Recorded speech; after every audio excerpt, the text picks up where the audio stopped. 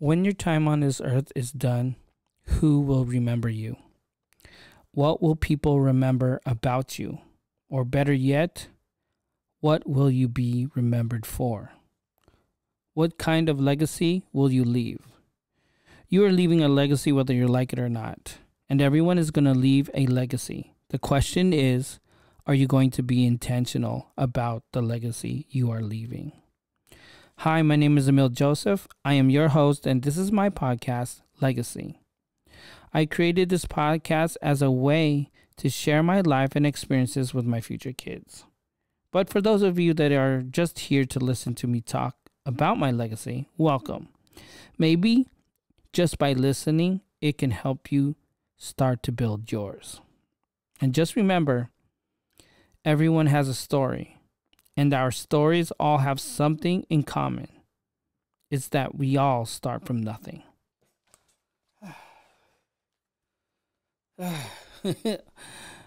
oh man, what's up, guys? it's been hot in the bay. It's abnormally hot. It's been hot like all week, and man, my body's not used to this. But anyways, um, welcome back. And today we're gonna talk about fitting in fitting in the Bay or fitting in in just general. So when I grew up, when I moved from the Philippines to the United States, I had to really obviously adjust to the culture. And moving to the Bay was even a more like it was more of a stress thing because things were done different here. So, um, and the only thing I knew about like American culture was watching TV, right, in the Philippines. So, uh, so, you know, my mom enrolled me in school. We didn't live in San Jose yet. We start. I started living out in Sunnyvale, and Sunnyvale, man, let me tell you, like San Jose back then was kind of diverse. There was a lot of Mexicans, Filipinos, and and a lot of other races. But in in Sunnyvale and Cupertino area, man, it was all white. It was all white. Like I think in my school, like I said before, there was only like two Asian or non-white people in my school. Like there was a, you know, it was a Spanish girl, and then I think there was like a Chinese boy, and then then there was me. So, um, but now what's cool is Sunnyvale Cupertino is all diverse. A lot of Chinese, Indian, all kinds, which is cool. Back then, it wasn't cool to be. I mean, my parents couldn't afford like really fancy clothes, so um, back then it was really all about brands. Now you could wear like, you know, you can stop at Target as long as you pair it with like some cool style. It's fine. But let me tell you, when I was growing up, if you didn't have something, you were made fun of. So at least my parents were able to buy me like Vans. I was like a skater back then. That's what I liked. My neighborhood was all white, and my, except for my neighbor, my neighbor was um, he was Korean and white. So that was kind of cool. And he helped me through like transition. And my parents used to tell me, like, to your dad, you speak Tagalog, Filipino. And then to me, my mom, I would just speak English so I can practice. Right. And it was hard because my mom would just say, hey, don't, you have to use English. So my English was really broken. And I was really shy to begin with anyway at school. So it was, it was cool because they aren't as hardcore in school now. Like you could be quiet and still do well, right? Back now, you have to participate. It's very you got to be involved. Like back then, it wasn't like that. So fitting it was really hard because I was also short. My parents gave me the super Asian bowl cut. My dad actually put the bowl on my head and cut it. I liked it, but it was is because my dad didn't want to pay for a haircut because he said that why should I pay for a haircut when in two weeks it's gonna grow out? It makes no sense. And I was like, eh, you know, whatever. But then I kind of styled it so it's like um, kind of like skater skater style or whatever. So it was cool. Um, and what was cool is my parents really wanted me to fit in. So I did Boy Scouts, I did baseball, I played the piano. I played um, violin. I did all that stuff. I was a altar boy at church. I'm a Catholic, so I uh, I did altar boy. I went to CCD. That's like Sunday Catholic school. I don't know if they still have that, but that was big.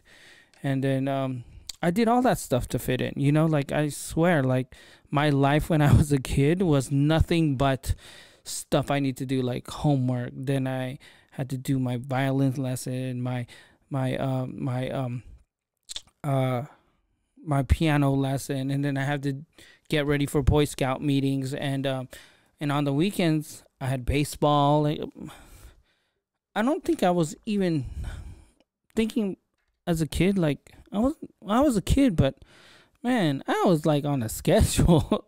My mom, I swear, always had me doing stuff, you know, because she really wanted me to do well in the United States. She wanted me to do fit in, so she wanted me to have all these, you know, activities and all these learn these things so it will help me throughout my life. I didn't understand that when I was smaller. I just like, man, I just want to stay home watch, you know, uh watch cartoons and stuff and uh, you know skate with my friends go to the park and stuff like that the cool thing about my parents was that um, they understood that i had to have friends you know so what the i had a curfew right my curfew was like it was cool because my curfew is like when the lights when the lights in the street turn on i have to be home which means that's like sunset so every day every day i could do that every day um I would stay out till you know at my friend's house or whatever, and that was cool. It was it was chill. Like after school, I think I would run home just to watch an anime that was like at three thirty, and that was like for thirty minutes, right? Thirty minute anime, and then I would go out with my friends. And then when I get home, I would uh, you know eat my dinner, and then I do my homework and stuff like that. So that was cool. That was me doing stuff like every other kid. I would you know, go over to my friend's house, play like video games and stuff like that. And um also food, you know, like nowadays it's cool to be your culture, right? It's cool to kind of you know, have your Filipino food at school and stuff like back then, man, I brought spam sandwich and they were like, "What is that?" I brought like puto, it's like this like I don't know, this muffin and maruya, which is like a banana like I don't know, banana like bread or something like that. It was so good, but people would laugh at me. Like seriously laugh at me because like what is that? You know, because everyone was obviously like like white. So, you know, I begged my mom, I want to get some Wonder Bread. My mom's like, no, that's expensive. So my mom would always get me like, you know, like pan de leche, which is like milk bread. It was good, dude. Trust me. Pan de leche is good. It's just that with around my friends, it wasn't cool. The good thing is my parents got me like you know, fruit roll ups, Doritos, stuff like that. So that helped. You know, and um, I did Boy Scouts. I did. uh I was a Boy Scout. I'm actually Eagle Scout, so I went all the way. Um, and you know what? I, I did this because I was trying to fit in with the with the kids around me because everyone was in like Boy Scouts, and I was a, I played baseball, I did all that stuff, you know, not knowing that all that stuff was teaching me things, you know, um, and thinking back, I'm glad I did it. It taught me things that I probably would have never learned. Also, playing with my friends at the park. I used to get into fights. We used to have arguments, you know, like all, all kinds of stuff. You you learn that stuff, and it's crazy because I was just trying to fit in, right? Um the unfortunately the unfortunate thing is that I was trying to really fit in the American culture that I was losing my own culture. I was sure I still went to church, I did all that stuff, but you know, like I stopped speaking Tagalog as much, so I started to lose my my tongue. Like I could still speak, but it sounded weird. You know, it still sounds weird now. But um I started to lose stuff because I thought that it was more important that I do well in American society so I can have a job and I can be successful. And my parents agreed with me. They they never pushed, you know, I never really hung out with my cousins or my other family I never really did that. I just hung out with my school friends, my Boy Scout friends. Was, uh, on weekends, we would do like, um, you know, we do stuff for community paper drive, you know. And I was at church. I mean, I was doing so much to fit in, right? Like, and fitting in is not bad. I just felt like looking back, I was, I was, I was struggling so hard just to fit in, right? Just so that I would be accepted. That way I can go to college and do all this stuff. And, um, my parents supported me, right? Like, and I'm okay with that.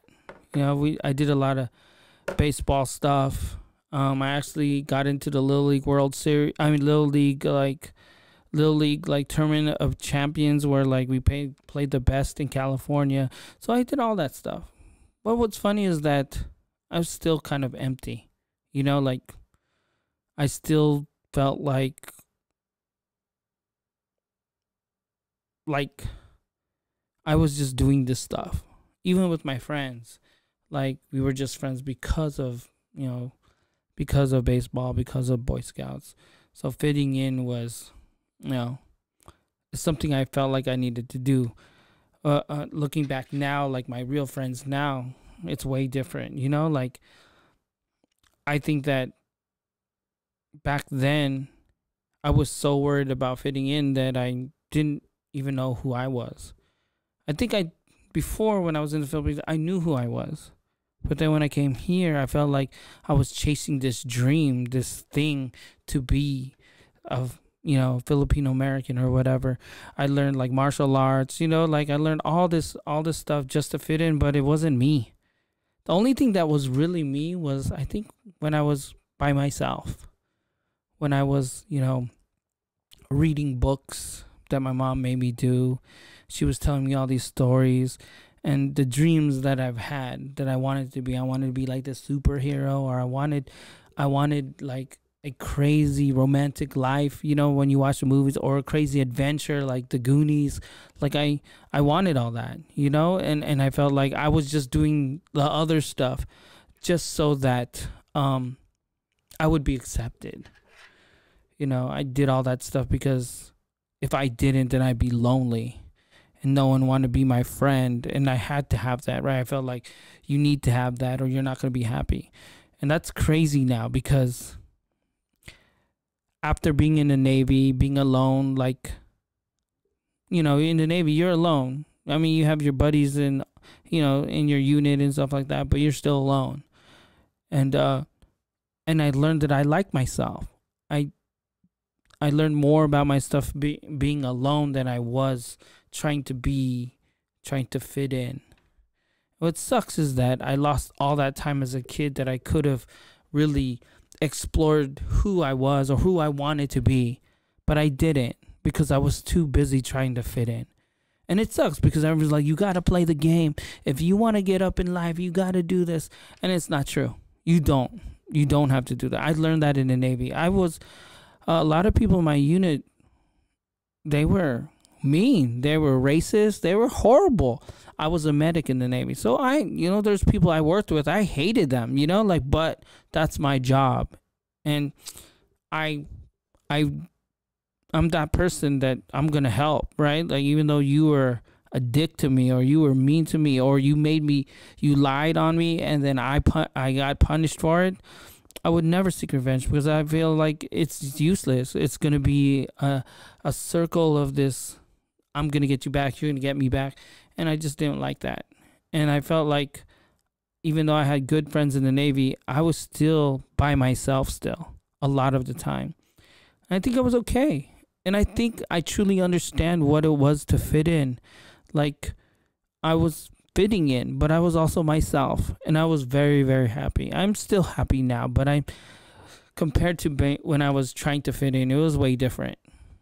And and I think that's what we do a lot. We always try to fit in, whether it's at at work, at school, with your friends, your group of friends, and then you have the separate you, you know, that um that is different and I feel that we marginalize our friend. Now there now this is different. Like I have camping friends that I just go camping with them, right?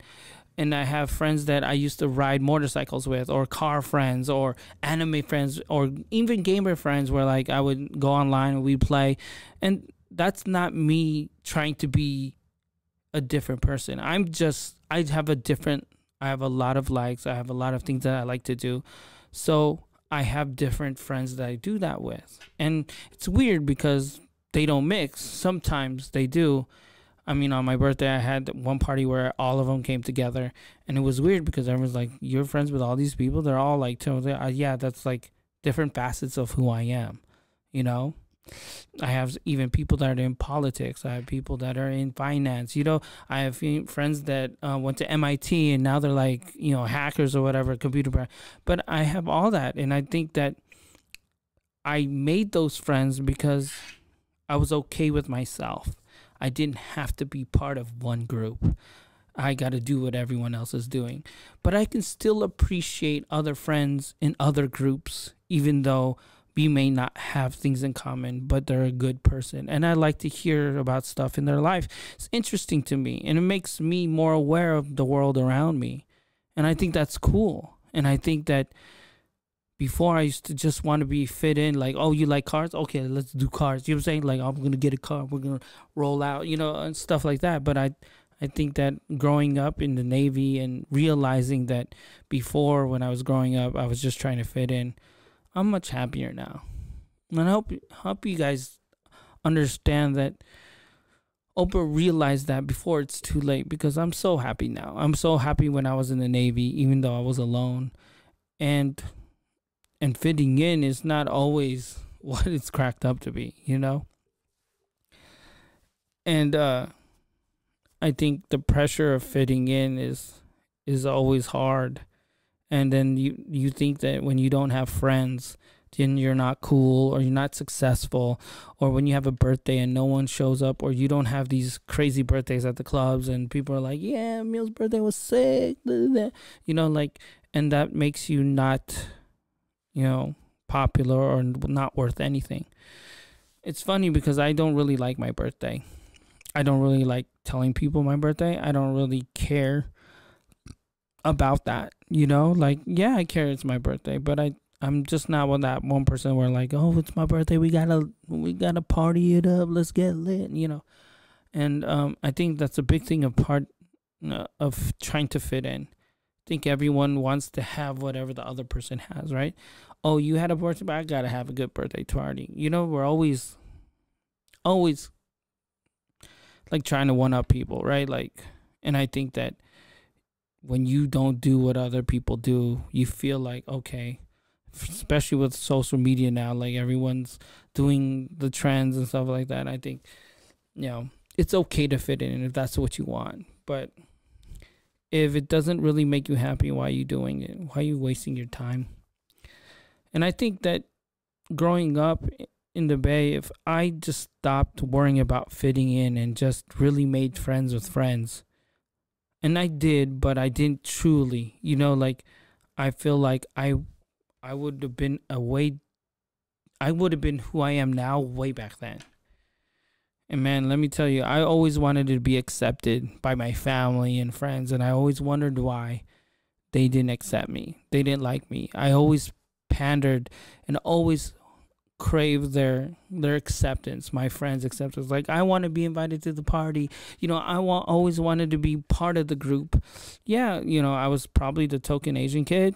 You know, the one that thought I was Chinese. You know, they always think that like you know, back in the day, they're like, "What's Filipino? Is that like Chinese?" I'm like, "No, it's not like Chinese." you know, and people like, "But you guys eat rice, and Chinese eat rice." I'm like, "Yeah, but so do like Latin countries too. A lot of Eastern European countries eat, uh, you know, rice too. Doesn't make them like Chinese. I don't think so. You know, like, so I think that fitting in."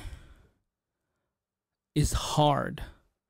I think trying to fit in sometimes you're going to lose yourself. And I wish that maybe when I was younger, I stopped worrying about fitting in and worried about figuring out who I was and who I wanted to be. I think you should too. I know it's a short one today, but I hope you have a happy Sunday and I'll see you next time. Peace.